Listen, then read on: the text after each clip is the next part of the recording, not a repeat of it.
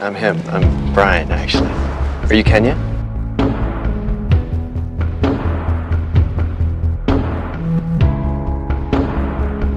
I know love when I see it. If you have feelings for him, you need to do something about that.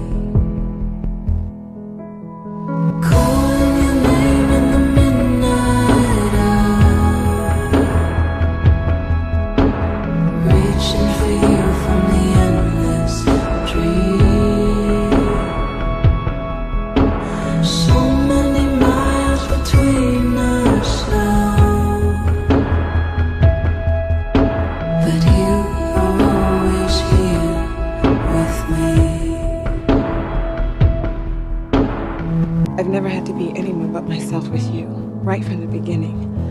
And with you, I feel like I can do anything.